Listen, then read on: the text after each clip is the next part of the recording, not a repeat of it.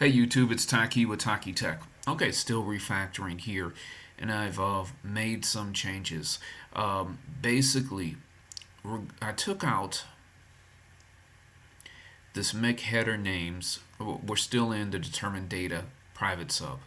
I took out the make header names, um, and I took out column count. So I'm going to take them out here now.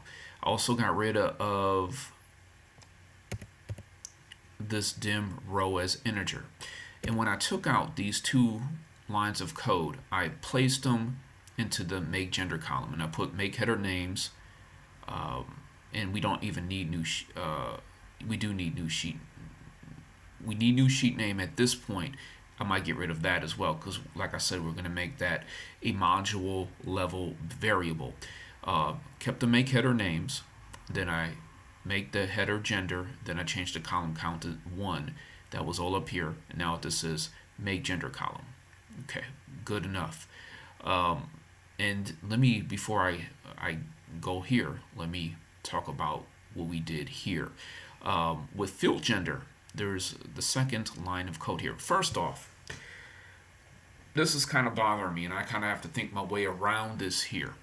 Um, we're basically using the same lines of code over and over again here to make the male and female names, which is great. That's kind of what you want to do.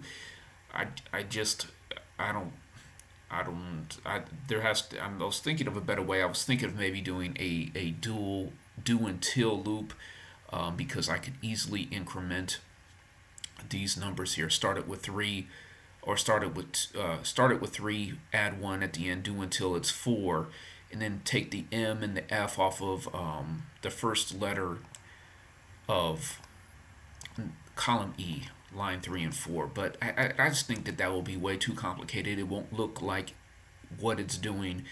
It's just better to leave it like this at this point. One of the things I did change um, with fill gender was it was uh, fill gender was asking for let me see if I could find it here um, was asking for uh, sheet name and I took that off. And that's what we're going to do now um, with this make gender uh, column. Now, it's asking for, um, it's, I believe make header is in the header, is in the header um, module, and it is.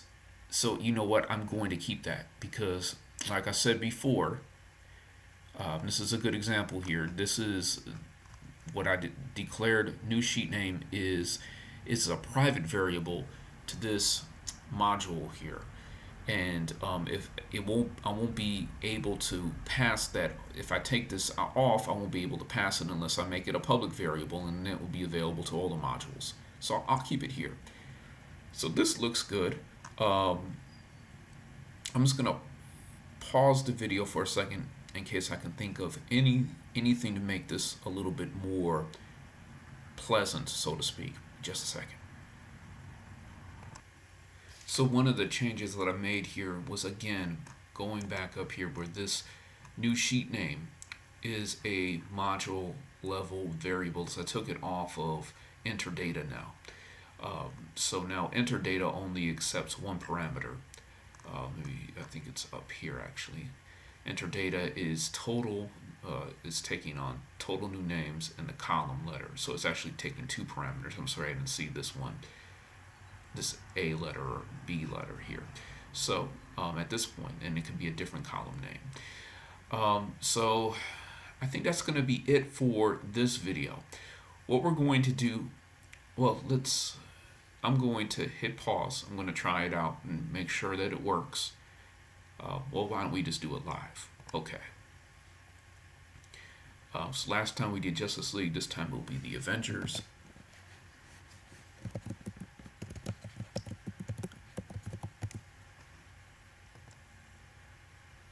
Um, I didn't get down here to change it here. Taking out that new sheet name. Make sure, I didn't do it here either. Let's hit play. Let's go to the sheet. So here's our Avenger sheet. We have two female names and we have seven male names. We go back here. That's what we ordered. Uh, nine names altogether. The gender all looks right. So nothing broke. So that's good. And uh, I think it's looking a lot cleaner than it, it initially did. I think it could look a lot better though as well.